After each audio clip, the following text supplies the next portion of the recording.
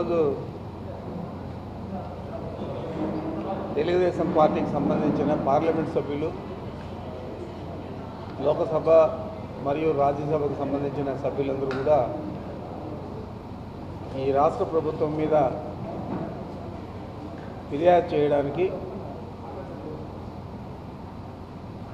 రాష్ట్రపతి గారిని ఢిల్లీలో కలవడం జరిగింది. ఈ నేపథ్యంలో ప్రధానంగా వారు ఈ ప్రభుత్వం అన్యాయానికి పాల్పడుతూ ఉంది. తెలుగుదేశం పార్టీ వారికి సంబంధించిన వారికి అందరికీ కూడా చాలా ఇబ్బందికరమైన పరిస్థితులు క్రియేట్ చేస్తూ ఉంది. రెండు వేల పద్దెనిమిది పంతొమ్మిదిలో ఎంజీఎన్ఆర్ఈజిఎస్ కింద పనిచేసిన పనులన్నీ కూడా పేమెంట్లన్నీ కూడా ఆ పనులకు నిలిపివేయడం జరిగింది. అని ఒక ప్రధానంగా వారు రాష్ట్రపతి గారికి చెప్పడం జరిగింది.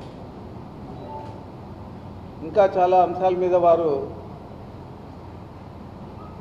ఈ రాష్ట్ర ప్రభుత్వం మీద ఈ రాష్ట్ర ప్రభుత్వ పనితీరు మీద ఫిర్యాదు చేయడం జరిగింది. ఇదంతా కూడా చూస్తూ ఉంటే అన్యాయంగా అక్రమంగా ఏదైతే మీరు దోచుకున్నారో ఐదు సంవత్సరాల్లో చంద్రబాబు నాయుడు ఆధ్వర్యంలో వాటికి కొత్త కొత్త పేర్లు పెట్టారు. ఉపాధి హామీ కింద చేసిన పనులు అంటే ఎంజీ ఎన్ఆర్ఈజిఎస్ కింద చేసిన పనులకు ఇంకొక కొత్త పేరు జోడించి ఇరిగేషన్ శాఖ నుంచి నీరు చెట్టు అని. ప్రధానంగా ఎంజీ ఎన్ఆర్ఈజిఎస్ కింద పనులు ఎక్కడైతే చేస్తారో కాలువల్లో పుడికి తీయడం చెరువుల్లో పుడికి తీయడం ఇవన్నీ కూడా చేస్తారు.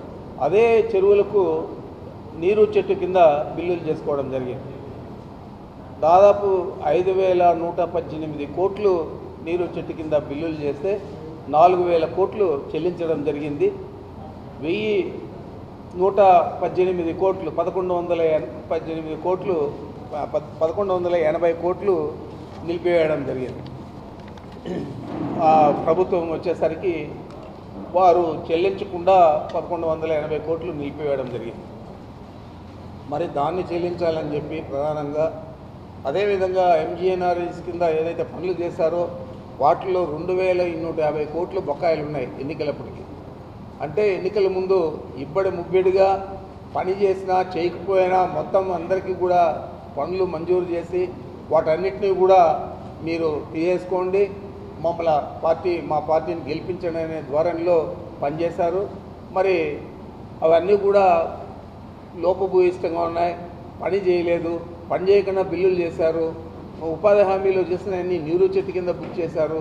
ఈ విధంగా అన్నీ కూడా ఉంటే మేము ప్రభుత్వం వచ్చిన తర్వాత రెండు వేల ఒకటి పది రెండు వేల పద్దెనిమిది నుంచి ముప్పై ఒకటి ఐదు రెండు వేల పంతొమ్మిది దాకా ఏవైతే పనులు చేశారో వాటన్నిటి మీద కూడా ప్రభుత్వం విచారణకు ఆదేశించడం జరిగింది. ఆ రోజు తెలుగుదేశం పార్టీ వారు ఒక క్వశ్చన్ వేశారు మా బిల్లులు చెల్లించలేదు ఎప్పటిలోగా చెల్లిస్తారని చెప్పి. అప్పుడు నేను సభలో సమాధానం కూడా చెప్పడం జరిగింది. ఈ మాదిరి రెండు వేల ఎనిమిది యాభై కోట్లు ఉపాధి హామీ కింద ఉన్నాయి. అదేవిధంగా పదకొండు వందల ఎనభై కోట్లు నీరు చెట్టు కింద ఉన్నాయి. ఇవన్నీ కూడా ఓవర్ ల్యాప్ అయి ఉన్నాయి. ఓవర్ ల్యాప్ అంటే చేసిన పనికే ఇంకో దాంట్లో బిల్లు. ఈ పని ఈ ఉపాధి హామీలో చేస్తే ఇది నీరు చెట్టు కింద. నీరు చెట్టులో చేస్తే ఉపాధి హామీ కింద. ఈ విధంగా ఓవర్ ల్యాప్ అయి ఉన్నాయి. ఇవన్నీ కూడా లోపపు ఇష్టంగా ఉన్నాయి వీటన్నిటి మీద ఎంక్వైరీ చేయాలని చెప్పి ఆ రోజు శాసనసభలోనే సమాధానం చెప్పాను. ఆ తర్వాత ప్రభుత్వం ఎంక్వైరీ కూడా ఆర్డర్ చేయడం జరిగింది. ఆ దరిమిల దాదాపు vigilance and enforcement general administration డిపార్ట్మెంట్లో విజిలెన్స్ అండ్ ఎన్ఫోర్స్మెంట్ వింకిస్తే వారు పన్నెండు పెద్ద పనులు తీసుకొని నూట అరవై ఐదు సబ్ వర్కులు తీసుకొని చేస్తే దాంట్లో మొత్తం మీద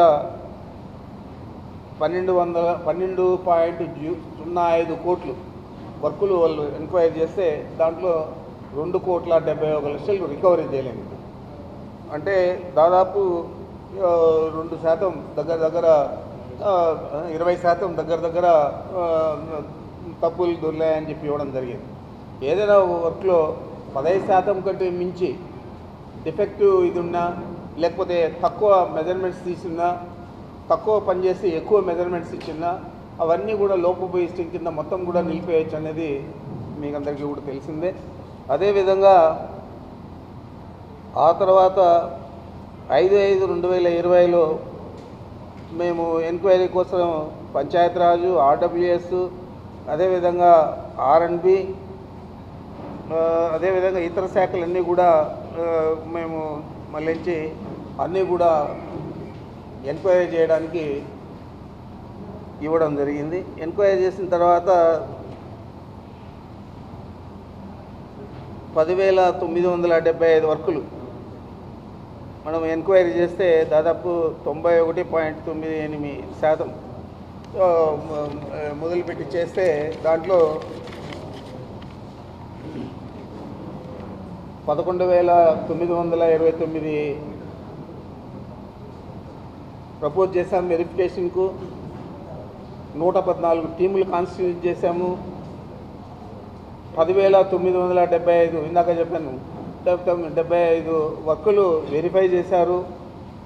రిపోర్ట్స్ కూడా తొమ్మిది వేల మూడు వందల డెబ్బై ఎనిమిది వర్కులకు ఎనభై ఐదు శాతం వర్కులకు రిపోర్ట్లు కూడా ఇవ్వడం జరిగింది.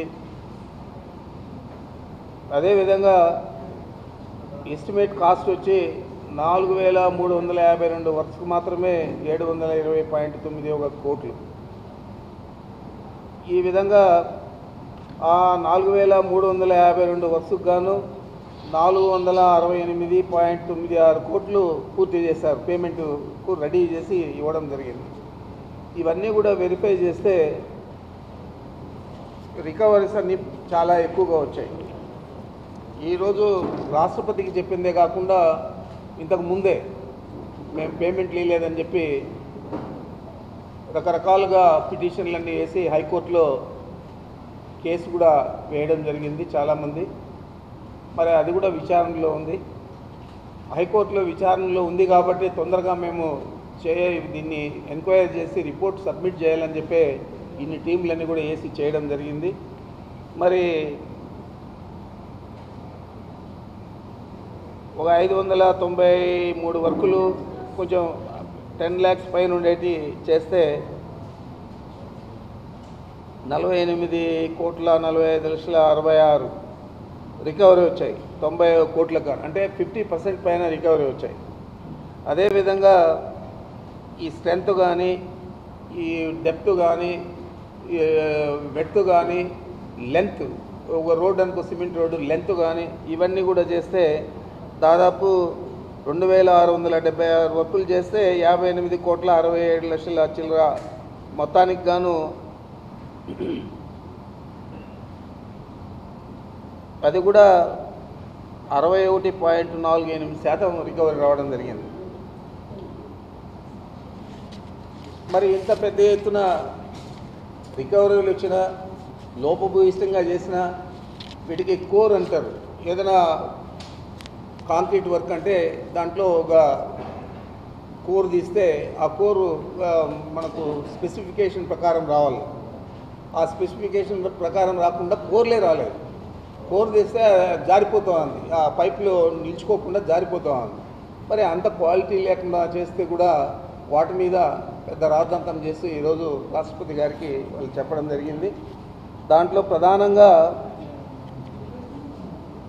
మేము పేమెంట్లు ఇవ్వలేదని రెండు వేల నూట యాభై కోట్లకు వాళ్ళు చెప్పింది ఏదైతే ఉందో అది వాస్తవం కాదు. మేము ఏవైతే దశల వారీగా అన్నీ కూడా క్వాలిటీ కంట్రోల్ వాళ్ళతో కానీ ఇతర డిపార్ట్మెంట్ వాళ్ళతో కానీ టెస్ట్ చేస్తూ ఉన్నాము. వారి దగ్గర నుంచి రిపోర్ట్స్ తీసుకొని ఆ రిపోర్ట్స్ సాటిస్ఫాక్టరీగా ఉండే వాటికి పేమెంట్లు కూడా ఇవ్వడం జరిగింది.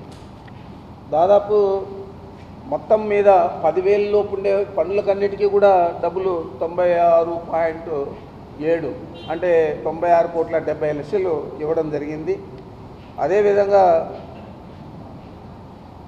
ఏదైతే మెటీరియల్ కాంపోనెంట్ కింద మనం వేజ్ కాంపోనెంట్ అంటే మన మనుషులకంతా పని కల్పించేది. అదేవిధంగా అరవై శాతం వాళ్ళకి పని కల్పిస్తే నలభై శాతం మెటీరియల్ కాంపోనెంట్లో చేయాలా ఆ మెటీరియల్ కాంపోనెంట్లో ఒకసారి ఇరవై మూడు పాయింట్ నాలుగు కోట్లు రెండు పాయింట్ తొమ్మిది కోట్లు ఇవ్వడం జరిగింది. ఫారెస్ట్ డిపార్ట్మెంట్కు సోషల్ ఫారెస్ట్రీ కింద వాళ్ళ ఏదైతే నర్సరీలు పెంచడము ఆ ప్లాంట్లన్నీ కూడా మాకు కానీ వాళ్ళు కానీ ప్లాంటేషన్ చేయడం వాటి కోసం ఇరవై ఆరు కోట్ల తొంభై రెండు లక్షలు ఇవ్వడం జరిగింది. ట్రైబల్ వెల్ఫేర్ డిపార్ట్మెంట్కు నూట ఆరు పాయింట్ ఐదు కోట్లు ఏడు పదకొండు రెండు వేల పంతొమ్మిది ఇవ్వడం జరిగింది. స్కూల్ ఎడ్యుకేషన్కు అంతకుముందు ఏదైతే కాంపౌండ్ వాల్స్ కానీ ఏదైనా పాక్షికంగా దెబ్బతిన్న స్కూల్స్కి కానీ ఏదైతే ఇచ్చారో వాటికి నూట ఇరవై ఒకటి పాయింట్ తొంభై ఏడు అంటే నూట ఇరవై కోట్ ఒక కోట్ల తొంభై ఏడు లక్షలు ఇవ్వడం జరిగింది.